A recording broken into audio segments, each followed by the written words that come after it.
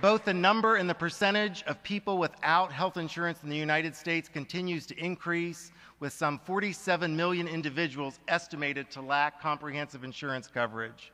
As a nation, we spend twice per capita what other industrialized nations spend on health care, but we rank 19th out of 19 countries on mortality amenable to medical care.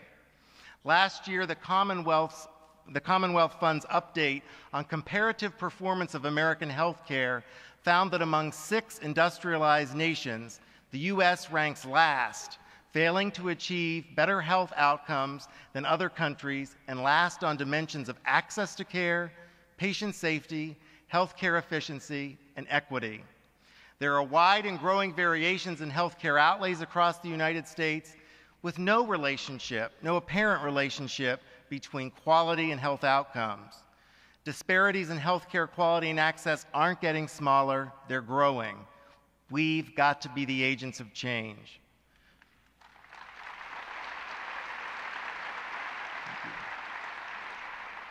Driven by a mission to promote quality, cost effective, and accessible health care for all members of the AAPA, our Academy can and must be advocates for change in our current healthcare system. Over the course of your time at this year's conference, you're going to begin to be introduced to efforts by the Academy that will urge you as PAs to be active participants in the current election process. I don't know if they have the button up there, but I've got mine on and I hope you have yours on. Our button reads PAs for a Healthy America, vote for 2008. Change starts with your participation. We uh, look forward to providing you in the weeks and months ahead uh, resources that will be helpful to you to become involved in the election process, to become informed of the candidates' positions on healthcare, healthcare reform, healthcare access, things that we all value and care about deeply.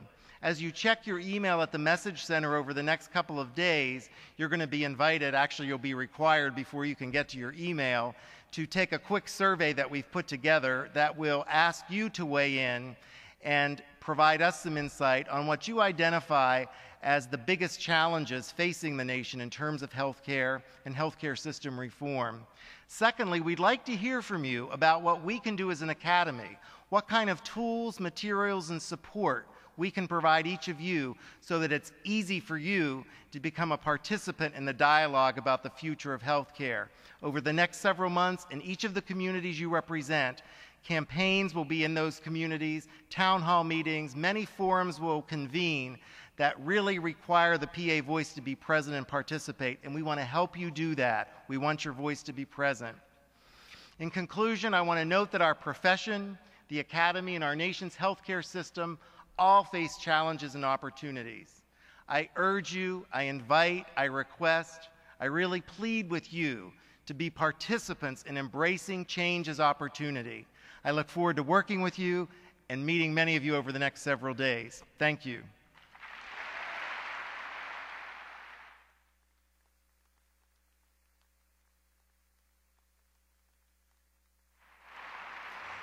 Now, once again, it's my real pleasure and privilege to bring back to the stage Gregor Bennett, who will present the 2008 AAPA President's Award. Gregor? Great job, Bill.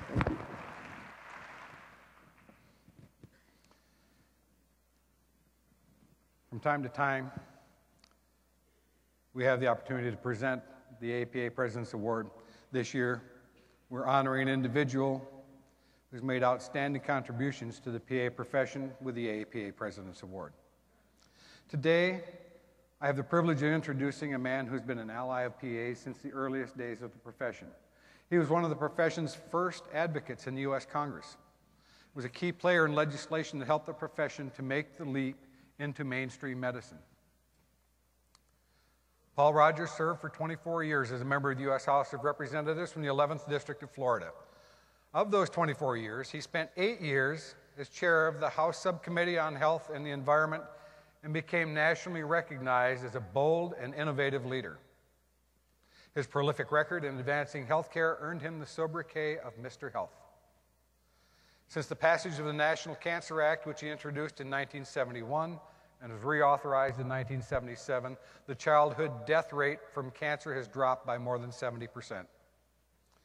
Communities as distinct as Anchorage and Miami are the beneficiaries of the Safe Drinking Water Act, which Paul introduced in 1974.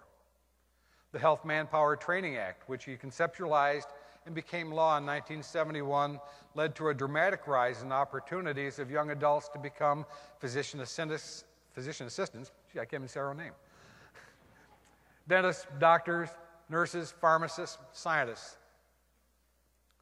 Other legislation that Paul sponsored and played a major role in enacting includes the Migrant Health Act of 1962, the Comprehensive Drug Abuse Prevention Control Act of 1970, the Heart, Lung, and Blood Act of 1972, the National Sickle Cell Anemia Control Act of 1972, the Emergency Medical Services Act of 1973, the National Diabetes Mellitus Research and Education Act of 1974, the National Research Act of 1974, the Community Centers Act of 1975. Community Health Centers Act, the National Health Promotion and Disease Prevention Act of 1976. Quite an accomplishment. As chair of the Board of Research America, his vision leadership played a significant role in doubling the budget of the National Institutes of Health over five years. By an act of Congress, the main plaza at the National Institutes of Health was dedicated as the Paul G. Rogers Plaza. Elected to the Institute of Medicine in 1979, he serves as chair of the Roundtable on Environmental Health, Environmental Health, Science, and Research. In 2006, the Bill and Melinda Gates Foundation supported the launch of the Paul G. Rogers Society for Global Health Research. The society is administered by Research America. Paul is a partner in the law firm of Hogan and Hartson in Washington, D.C. He and his wife Becky are proud parents of a daughter, Lang, and the proud grandparents of four beautiful grandchildren. Ladies and gentlemen, please join me in congratulating the recipient of the 2008 AMA President's, or APA President's Award, the Honorable Paul G. Rogers.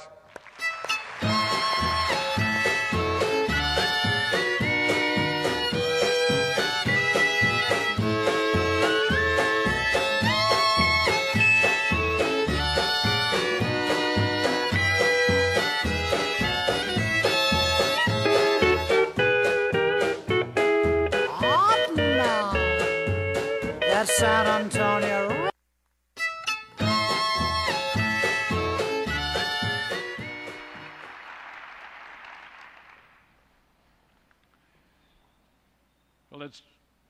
Truly a privilege for me to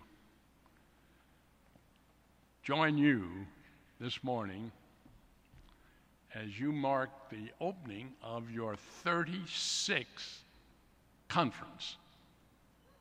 Think of that 36 times. That's wonderful.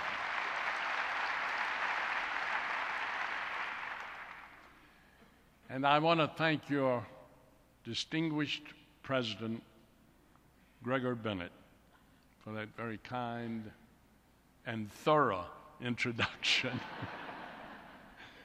Everything I've ever done in my life, I think. That was kind of you, Gregor. Uh, you've got great officers. You know that. And they're doing a wonderful job for you. Uh, I uh, also wanted to thank Gregor and the entire board for allowing me to have this very high honor that he has and the board has bestowed upon me. Uh, may I say, too, a word about your new CEO? and I speak from experience. He um, is outstanding. You're very fortunate to have him join your leadership team. He has great contacts, great knowledge, great ideas. He's an activist, and he'll bring action to the PA movement.